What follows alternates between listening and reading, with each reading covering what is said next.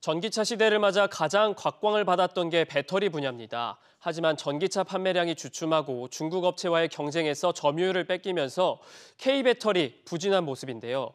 미중 배터리 갈등이라는 변수 속에서 새로운 돌파구를 찾아야 할 시점입니다. 윤지혜 기자입니다.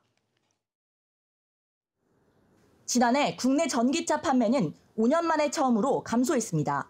미국 완성차 대리점에서도 전기차 재고가 쌓이는 등 글로벌 전기차 수요 둔화는 현실로 나타나고 있습니다.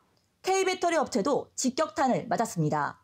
LG엔솔의 지난해 4분기 매출은 전년 동기 대비 6.3%, 전분기 대비 2.7% 감소했고 삼성 SDI와 SK온도 실적이 부진할 것으로 예상됩니다. 북미와 유럽 모두 자국업체를 위해 보조금을 축소하면서 전기차 판매 상황은 당분간 녹록지 않습니다. 지난해까지 북미에만 8개의 공장을 지으며 공격적으로 생산량을 늘려온 LG엔솔은 올해 숨고르기에 들어갈 예정입니다. 중국 배터리 업체들의 추격도 매섭습니다.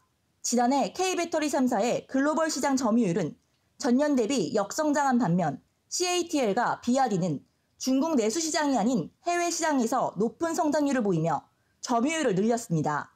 특히 배터리 회사였던 BYD는 전기차를 직접 만들기 시작했는데 생산원가 절감이라는 경쟁력을 앞세워 지난해 4분기 처음으로 테슬라 판매량을 앞질렀습니다.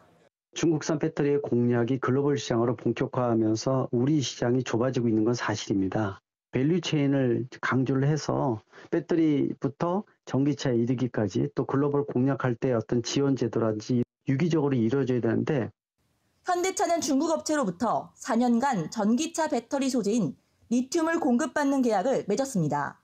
완성차 업체가 배터리 핵심 광물을 확보함으로써 향후 배터리 업체에 대한 의존도를 낮추고 협상력을 높이겠다는 포석으로 풀이됩니다. SBS 비즈 윤지입니다.